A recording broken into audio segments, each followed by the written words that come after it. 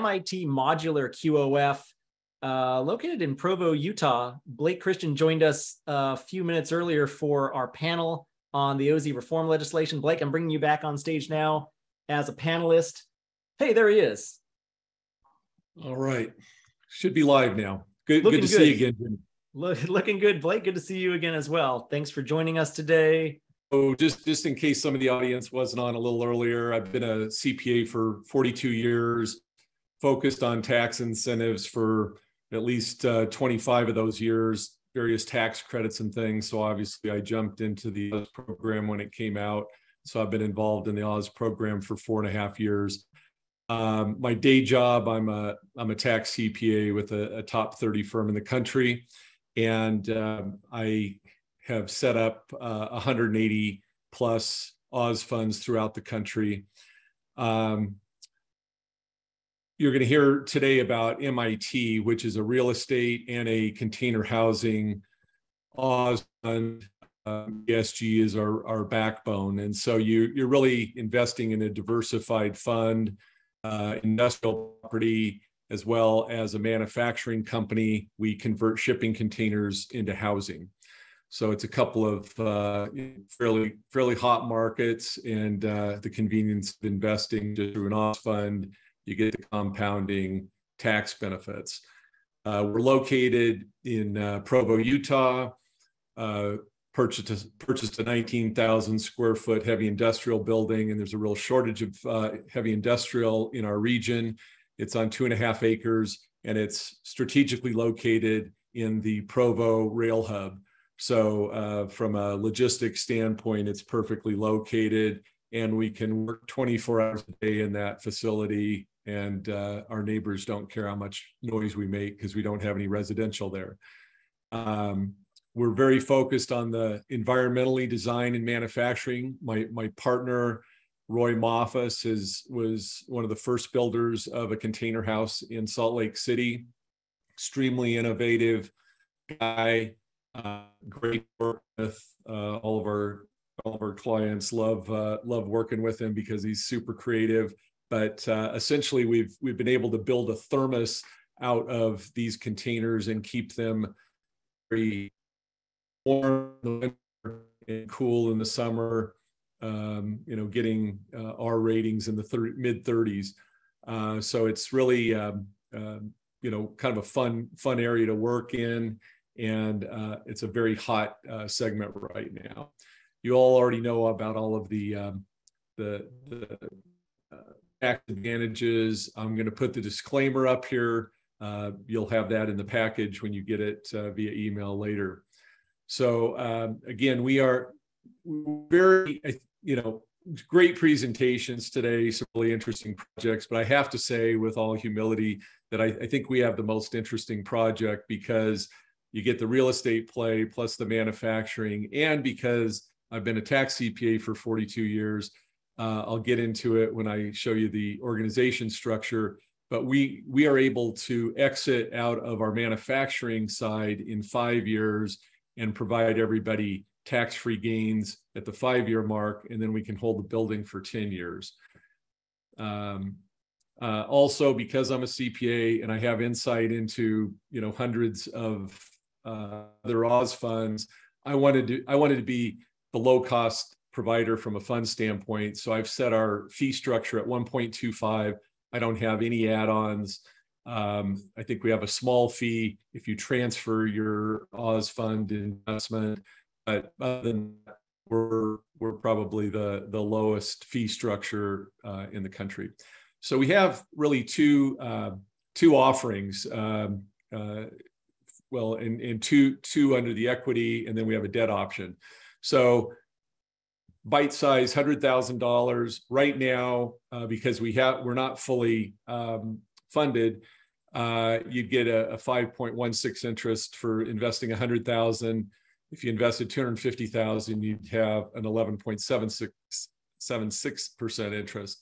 Um, it, once we raise a full four or four or full $4 million, uh, you'd get diluted to 2% and 5% respectively. Um, the debt option, uh, we do have, uh, uh we're refinancing our our uh, facility right now. Uh, we have a $1 million um, um, bridge loan on it. And um, so we are talking to a few people about refinancing, but we figured we'd throw it out to the group here too. Um, so uh, we're going to refi at $2 million. Um, and uh, you'd have a first trust deed. We'd negotiate uh, the interest rate, and we'd also be willing to throw in a kicker of uh, a little equity interest for a compromise on the interest rate. So um, those those are the two offerings, and uh, we can discuss those offline.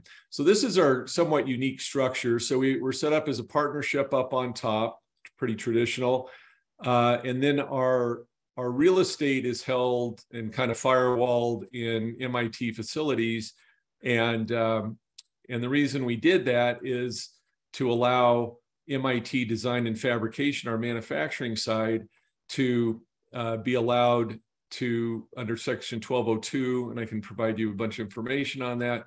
We could sell this in five years and uh, people could get up to a $10 million per investor exclusion on that exit um, there's my my partner roy he's uh, he's a fun guy to work with and uh, the smartest guy in the game when it comes to uh, container housing um, this facility, um, we have, it's a hundred year old building.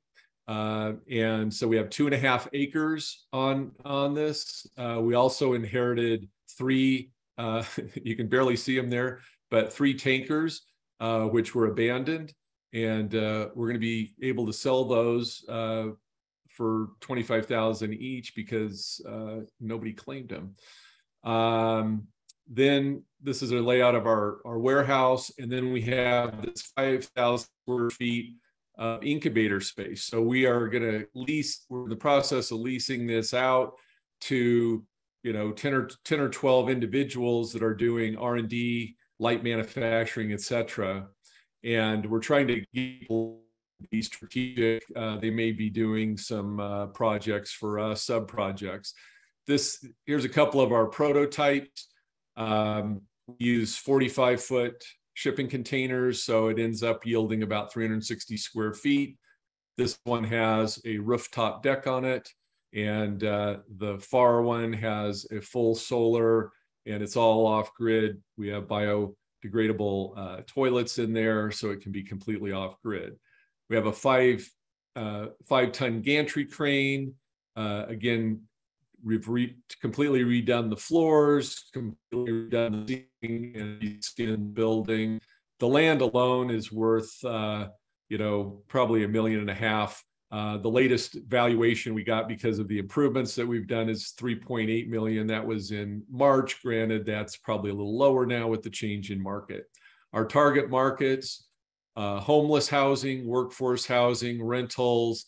Uh, one of the, the, the kind of surprises is uh, uh, we, we've been approached by a ton of mobile home owners, and they want to add uh, kind of upscale features to their current developments. Again, there's some of our, and, and there's videos, internal walkthroughs on our website. I'd encourage you go that. We use sustainable, this is sustainable um, woods and things. This is all uh, bamboo products and we also have a we we may be starting a a bamboo manufacturing and distribution division. It may not be within our this Oz fund. It may be in another one. There's some workforce housing projects, and we have been getting you know a ton of press just because you know it's there's the housing crisis is not going away. We have a great solution. It's a green solution. The portability, and if you buy these and rent them out, if they're fastened to the ground properly, you can expense the under the bonus depreciation rules in the year that they're placed in service. Um, again, please get our package. There's a lot of articles, etc. Um, and there's our contact information.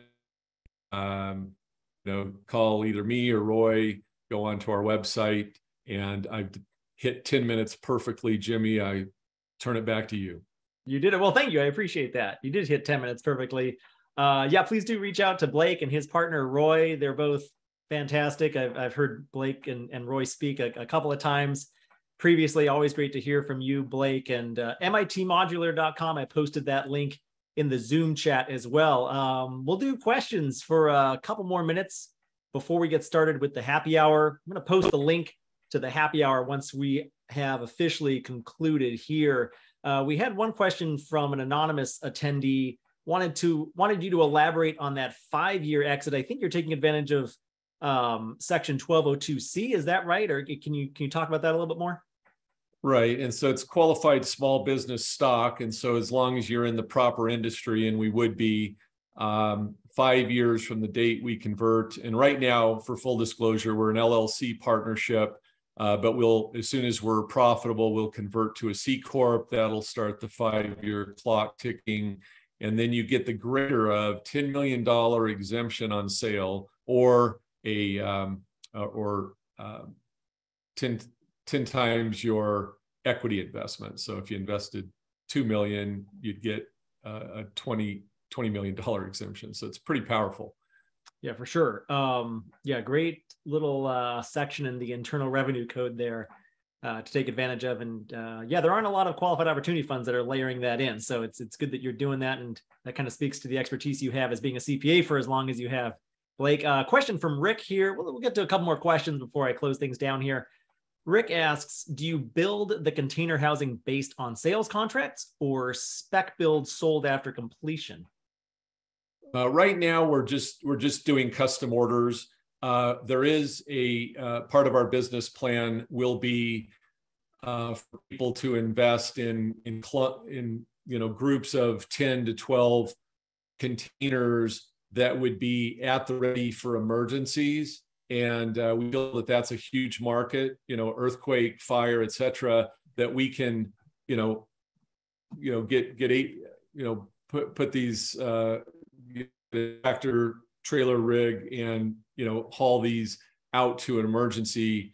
And uh, those things are usually going to sit there for six months at a massive premium rental. And so that's that's part of it. Um, so you also asked about rising costs. And again uh, because because we're a smaller space our costs you know in raw dollar terms aren't going to go up as much but they do go up proportionally but it's like buying a car it's uh, it's like what what features do you want on it? So there's a pretty wide spread. You know, I mean, we can build stripped down models for 40 footers for 80 grand, but you know, the the more elaborate ones could be 150 grand. And we can and then, do multi uh, multi-family with we can do multi-family. We can do multiple containers on projects. Fantastic. Uh, yeah, Joseph was asking, are there any multi-family projects using container construction? There, there's some in uh, Holly, Hollywood has done uh, some of those. Terrific. Hollywood, California. Um, oh, one more question from Joseph, and then we'll we'll officially close things down here. Joseph asks, "What is the expected useful life of a container home?" That's a great question. Yeah, I mean, from from a tax from a tax standpoint, if it's not fastened to the ground, it's gonna it's gonna fall into you know a, a under, and you're gonna be able to take bonus depreciation on that. Very good. And um, Joseph may have asked about the debt terms too. Uh, at the moment, we're just looking for a 24 month uh, uh, interest only loan, balloon payment. You'd have a first trust deed. Perfect. Well, Blake, I think uh, that does it for all of the questions. Thank you so much for not only presenting right here, right now, uh, your MIT modular, but thanks for serving as a panelist on our OZ reform legislation earlier today. Really appreciate uh, your time today. Thank you so much, Blake. Th- thank you. Great, great program today. Thank you.